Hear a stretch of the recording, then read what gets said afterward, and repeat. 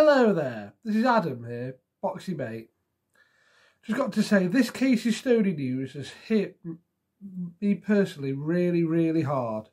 She's built this club up literally from the ground up. And all she's got, I believe, is pressure from above to which she desperately wanted answers and she's got none. We've got no real training base. We keep moving from place to place to place, nowhere to call home. That's a huge issue. That's part of why we got the injuries that we did.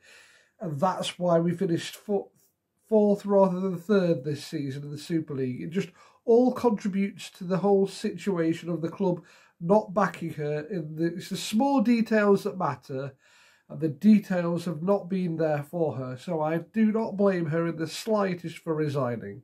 She is the core of what the women's team has been built around.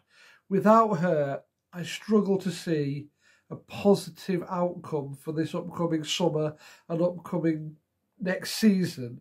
She is vital. Without her now, we are in complete and utter limbo. We're, we're in stasis mode. We've got no manager now. We've got players' contracts running out. We've got the players that need to be signed can't be signed now. It's all just just crazy now, and it just looks terribly, terribly bad.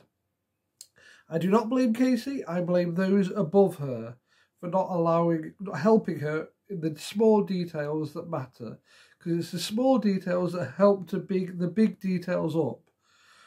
So for me, this is hugely disappointing news. Not surprising in a way, but hugely disappointing.